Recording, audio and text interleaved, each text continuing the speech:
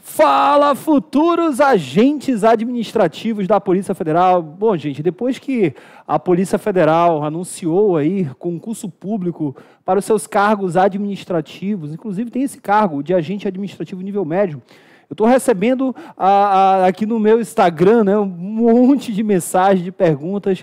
Professor, que concurso é esse da Polícia Federal? Com que está todo mundo falando, nível médio, que concurso é esse? Bom, gente, é um concurso, tá? Para cargos administrativos, tá? Não, não são cargos policiais. Então, se você passa num concurso público como esse, de agente administrativo da Polícia Federal, você não vai ter arma, distintivo, você não vai participar de operações da Polícia Federal. Então, você vai trabalhar em situações internas além da Polícia Federal. O último concurso, ele aconteceu, para vocês terem ideia, tá? foi é, no ano de 2013, tá? Então, no, no, ano de 2013, tivemos aí um concurso para os cargos administrativos, 566 vagas, tá? E esse cargo, lá em 2013, um cargo de nível médio, ah, que é chamado agente administrativo, as, as pessoas, né, tinham têm um salário, hoje já está bem maior, mas lá em 2013, vocês terem ideia, o edital veio com R$ 3.316, tá? De, de salário e mais algumas gratificações para trabalhar trabalhar 40 horas, 40 horas semanais.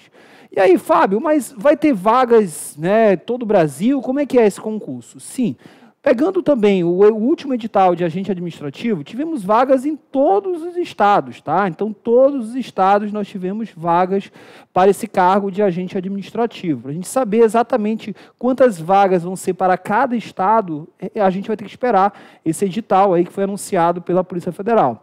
Agora, o que é legal a gente saber é que, por exemplo, no último concurso tá, daqui de agente administrativo, nós tivemos 496 vagas, tá? mas ao final do prazo de validade do concurso, foi chamado 1.345 pessoas, ou seja, praticamente ali quase o triplo de vagas do, dos aprovados foram chamados, que isso é um padrão em concursos da Polícia, da Polícia Federal. Agora, Hoje, o déficit de, na Polícia Federal para esse cargo administrativo nível médio está muito grande. Por, por quê? Porque tivemos dois concursos da Polícia Federal para policial federal mesmo, e muita gente que passa nesses concursos da Polícia Federal para policial são pessoas que já eram de cargos administrativos. São pessoas que entram na Polícia Federal como administrativos, se preparam, fazem uma faculdade, um curso tecnólogo e depois entram de novo na Polícia Federal num cargo policial. Então, é tipo uma ordem natural da, da, de quem entra na Polícia Federal como cargo administrativo administrativo, tá bom?